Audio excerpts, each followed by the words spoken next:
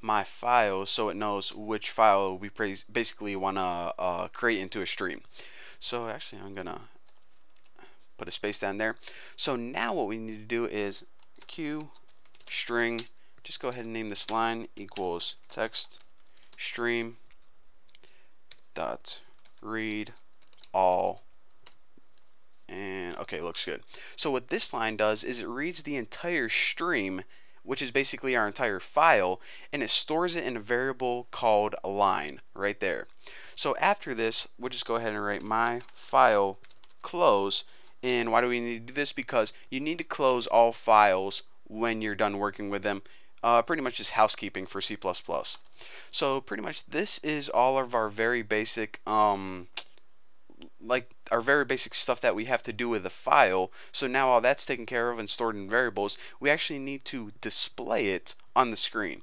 So in order to display it on the screen, remember that UI object that we talked about earlier represents the entire user interface, and this was actually set up for us by Qt. So what we need to do is we're working with the user interface, what part of the user interface? Well, we want to work with the text edit widget.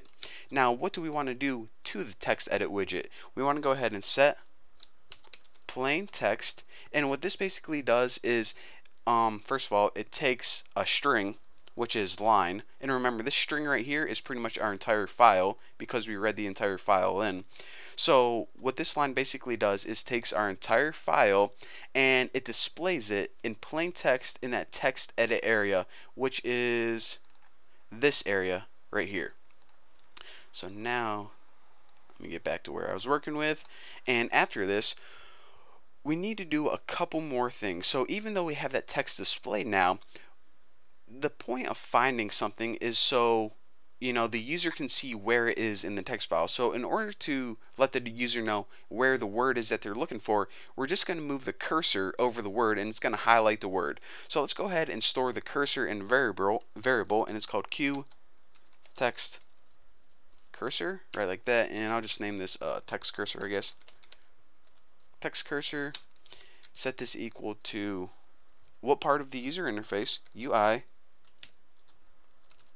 text edit, and it's called text cursor. Now this text cursor function is a built-in function. It's already in Qt, so we don't have to code this ourselves.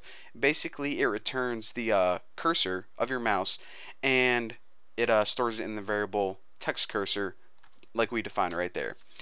So now the only thing else I want to do is I want to take that cursor and I want to move it into position because we're going to need it in position later on. So go ahead, text, and I'm going to sneeze in about two seconds.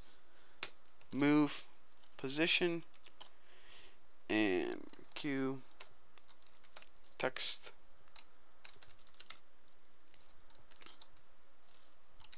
start uh, gonna make me type the whole thing.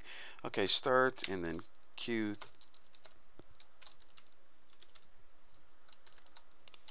Move anchor and one. So I know this is running off the screen, but let me go ahead and shift this down and I'll explain to you guys what it means.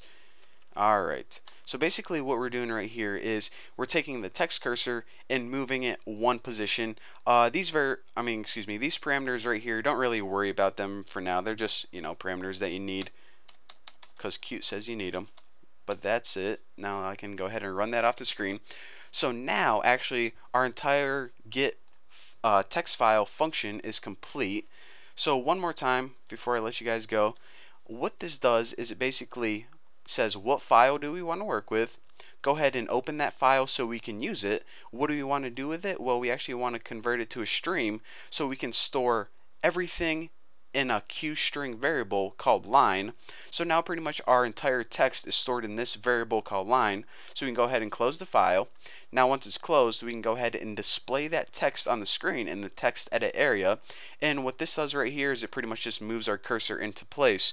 So then whenever the user searches for their next term, they can go ahead and, you know, the cursor moves and they can see where the words are that they're looking for.